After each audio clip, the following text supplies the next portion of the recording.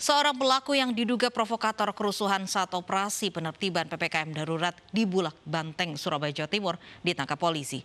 Polisi juga menyita barang bukti batu bata yang digunakan melempar dua mobil milik polisi dan Satpol PP. Ekonovi Wahyudi pemilik warung kopi hanya bisa tertunduk lesu saat digiring petugas. Ia diduga provokator kerusuhan saat operasi penertiban PPKM darurat di Bulak Banteng, Surabaya, Jawa Timur pada Sabtu malam. Polisi juga sita barang bukti batu bata yang digunakan melempar dua mobil milik polisi dan Satpol PP.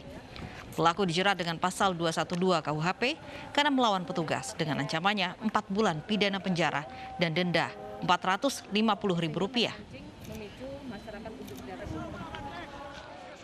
Inilah kericuan yang terekam video amatir yang terjadi di kawasan Jalan Bulak Banteng, Surabaya, Jawa Timur pada Sabtu malam. Warga berteriak dan menghujat serta mengusir petugas gabungan yang sedang menggelar operasi PPKM darurat di kawasan ini. Tak ingin terjadi keributan akibat masa yang terus bertambah, petugas pun memilih mundur dan meninggalkan lokasi. Kericuan berawal ketika petugas gabungan yang sedang menggelar razia menemukan sebuah warung kopi yang buka melebihi batas waktu. Petugas pun menyita KTP pemilik warung dan tabung gas LPG. Warga yang melihat kejadian ini pun menuding tindakan petugas semena-mena. Mereka kemudian beramai-ramai melawan dan mengusir petugas.